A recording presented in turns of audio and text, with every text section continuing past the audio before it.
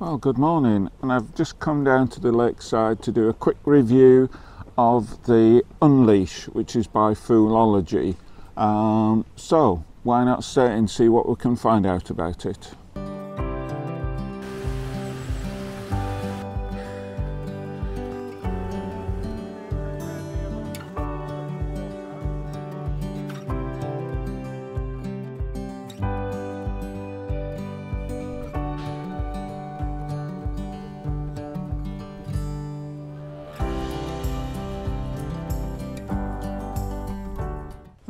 Right, well this is a video I've been wanting to do for some time and I finally got round to doing it. Now I bought the Unleashed in a Kickstarter a, oh probably I got it about a year ago um, and I still haven't, I've used it a bit but still haven't used its full potential. So I thought I'd go through here what it can do, show you some of the results and hopefully I'll learn and you can see about it. Um, this is totally off my own bat. I did pay for it with my own money and I'm not being sponsored or anything so these are my views about it. So right let's get on with it and see what we can find out about it. Right so the question comes to mind what is the Unleashed by Foolography and Food, Fool, yeah and it's basically a, a, remote controlled through the mobile for the camera. And you can see it there and then it plugs inside to the camera. And when it's initially plugged in you can see it's flashing red which means it's not connected to a mobile. But once it's connected up and it's done through Bluetooth it uh, goes blue. So we can see there that's the um, the thing. And as I say, it's done through Bluetooth. You've got to pair it. Once it's paired, it reconnects very quickly. It is very good. And here we have, hopefully we can see on the mobile, the interface. So we have uh, a number of options and then we'll go through each one. We've got photo, video, time lapse, holy grail, bracketing, and gallery. So we'll take, we'll just stop there and then we'll go on to the first item. Right, so the first item is photo and if we go into photo there, we can see the various settings for the camera. Now the ones that are greyed out means that you can't actually alter them like the the mode. Now the camera is currently in manual as you can see there and I can't alter that from the camera. I mean, it would be nice if some of them could be altered, but um, obviously not. The main ones that can be are the ones that we can see are in white.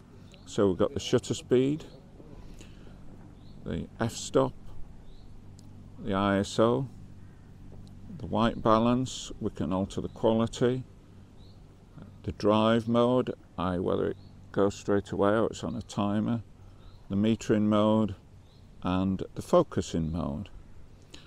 I think, although I'm not 100% certain about this, that some of the other, when you're in other modes other than manual, maybe some of the things you can alter that you can't alter in manual. So, and then basically you can see at the bottom you've got a big white button which is the button to take the, the image. So if we just, and we can do a photo review and S is just for a small, just a small JPEG. So if we just try um, doing that, we'll just, it is, I think the camera is actually focused on me. So we'll just click that and check it, see what happens. Right, I don't know whether you heard the camera clicking then. And if we click on that, yep, you see there's a preview of the image. It is a very small preview. I did try putting it onto extra large and it does take quite a long time to download the images. So I mean that, that that's it it is very useful for doing selfies that you get your camera set up etc and then you can go away, stand where you want to be, and activate the camera from here. That's what I did with the, the selfie that I used for the thumbnail for this. So, yeah, it's great. I uh, only on one occasion, and that was on the video when I went to Wasdale Head. I did start to have problems that um, I think I was going too far away. I mean, I don't know what the limit is for the distance. It's with Bluetooth, and you know, Bluetooth, if you get too far away, the, the signal deteriorates. So, only one time have I had that. The other good thing on this is if we look at the, if we go into the shutter speed, which you've got set at a 60th of a second, you'll see that it's got shutter speed and ND filters. Now this is one of the beauties. So if I was to put a three stop ND filter on, I can just go from there and go down to three stop and it will automatically alter the shutter speed in line with that. So that's an eighth of a second. Or if I went to a 10 stop, right down to 10, it would go to 15 seconds. So that that's very useful and a useful way rather than having to um, calculate. Obviously, if I alter the the shutter speed, so if I say where it needs to be the 25th, it doesn't alter the ND number. It's just if you alter that, it then corrects the shutter speed. So that is a very useful application. So you could use this and then, yeah, you don't have to be calculating or whatever. So, so that's the photo. It's very, very simple, very straightforward.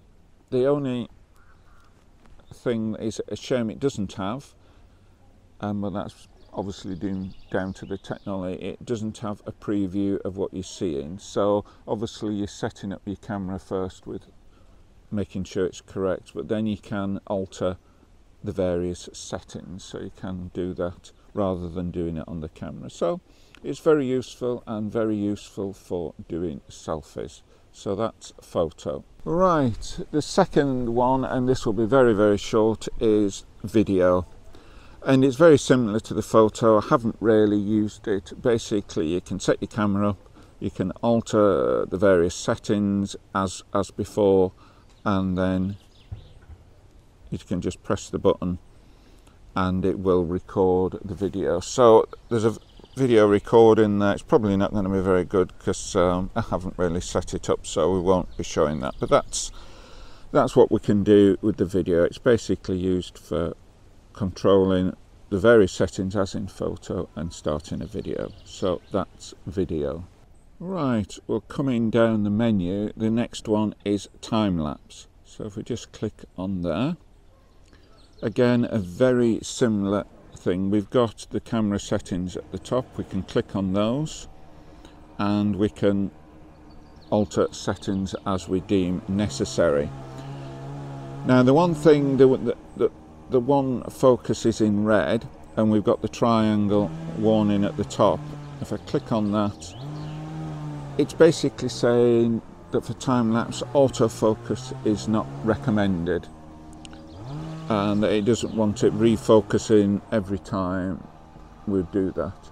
The way I've actually got my camera set up with back button focusing, that wouldn't be a problem because um, when it takes the pictures, it's activating it the same way as if you're pressing the the shutter button and if it focuses when you press the shutter button it would focus uh, in the time lapse unless you turn it on to manual focusing or you don't have that activated and I don't so that's not a problem. So as I say we've got the various settings the same as the camera there.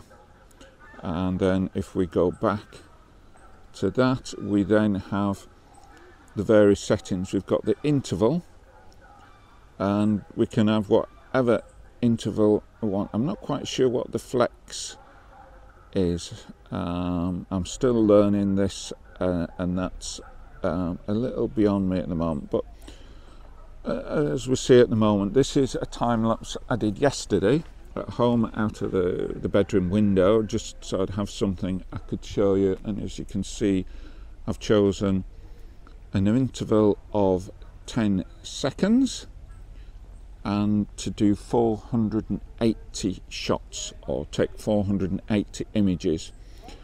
And I have got the frame rate in at the bottom.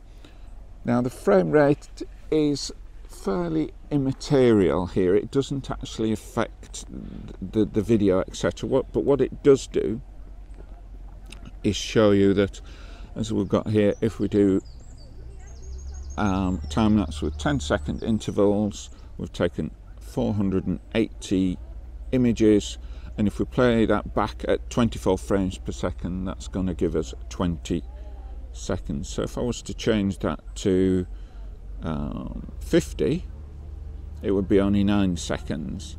But we'll put it back to 24 because I do everything in 24 FPS obviously the actual setting of that is dictated to when you load obviously the images into the computer and create the time lapse from the individual images. So uh, it says 24 frames per second here but I could when I get home decide to do it at a different rate and do that. But I will put that time lapse up to so you can see um, what's doing uh, and this is something I want do want to get into time lapse photography. So that is very very useful. Um, it does it with taking um, full frame images that you can then stitch together to do a time lapse. There is on the camera to do a video time lapse and obviously I can do a time lapse on the Pocket 2 here. So yeah that that's that's what we've got and that's time lapse so we'll stop there and we'll go on to the next one.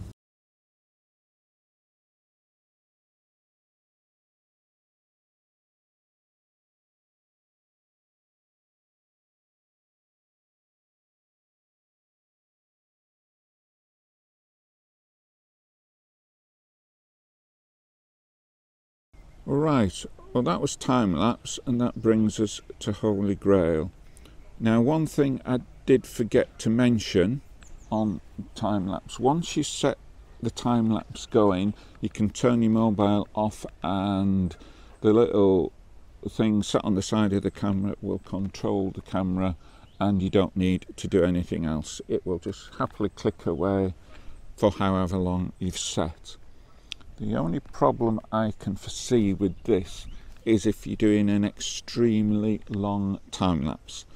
I, was messing around with it the other day trying to get on top of this and I did one with very long intervals and the problem was that the camera is on all the time so while the camera's on all the time it doesn't go to sleep it is doing that and obviously it eats into the batteries so you either need very fresh batteries or you need to go somewhere where you can what I have got and haven't used it for a long long time is I've got a dummy battery that you can put in like a battery and then you can plug it into the mains and so you get continuous power. So you'd maybe have to do something like that. But here we have the Holy Grail, and what the Holy Grail is designed for, and we're not going to go into it much because I don't understand it, is for doing time lapses, say a sunset or a sunrise, where the light is changing significantly. So we've got various algorithms to choose. Um, and uh, as I say, I don't really under, understand that um, we've got the ramp in order etc so yeah it, that's just a thing. That's for more sophisticated time lapse and I may get into that at some point. So we'll stop that there. Alright so that was Holy Grail. And now we're going to go into bracketing. And I think we're possibly going to do this as uh, two sections. Obviously again we've got all the camera settings that we can alter and do what we want. And then as we come down, we've got bracketing, we've got exposure bracketing and focus bracketing. So if we look at exposure bracketing, we've got that, we've selected that, um, we've got three images, direction, push, um, direction, plus and minus, and we're doing it two stops, step size is two stops. And the adjustment order, and we've got various orders, and as far as I understand, TV means shutter, and if the shutter can't cope with it, it will alter the ISO. So I have got the camera set up. Um, let's just make sure I focused it. I'll just focus it there and yeah, that's set up. So hopefully if I just press the button there, one, two, three. So that's taken the three images. Um, we'll just do it again just to make sure. And then I will put this, process this image and put it up on the video after this just to show what we're doing. So yeah, so that's um, exposure bracketing.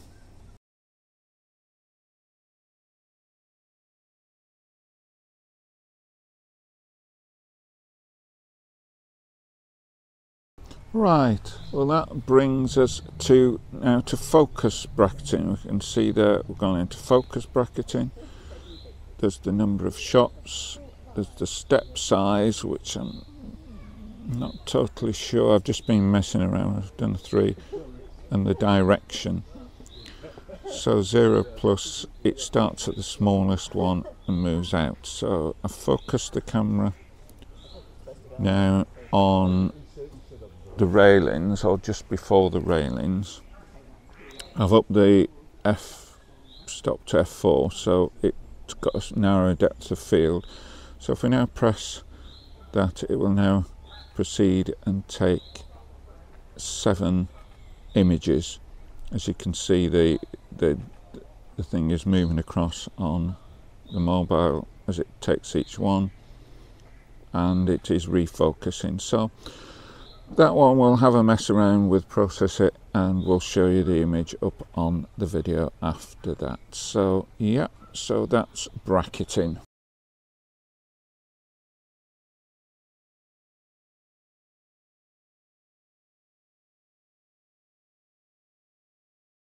And that brings us to the final section which is gallery. So if we go into gallery we've just got the one image there that we took initially which was just a preview. Um, and obviously if you get the previews in there it will show them all. As you can see the preview is not particularly uh, very good. It, it is a low res preview just to um, I'll get rid of it. Just basically to show you that you've taken an image and a rough idea. As I say to do the full video uh, to do the full res image was taking quite a while to download onto the thing. So that's going through all the things on the app and we'll leave it there for that and then shortly we'll have a, a talk about my overall feelings about this as we head home. So we'll see you a little bit later.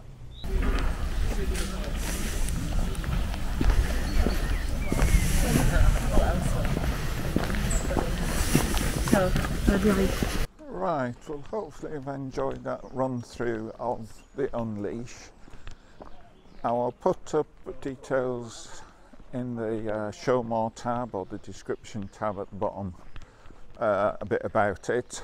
I got it in a Kickstarter campaign and I think it was getting on for 150 pounds which whether it's worth it, or not I don't know. It is quite good. It has its limitations it can do quite a lot in terms of controlling the camera, but you're not getting any feedback in terms of you're not seeing the image, so you can't totally use it. You can't put the camera somewhere slightly inaccessible and then totally control it with that. Obviously, if you can get it set up and focused and that, you can then use that to, to snap away, which as I've said is useful for for doing selfies, etc.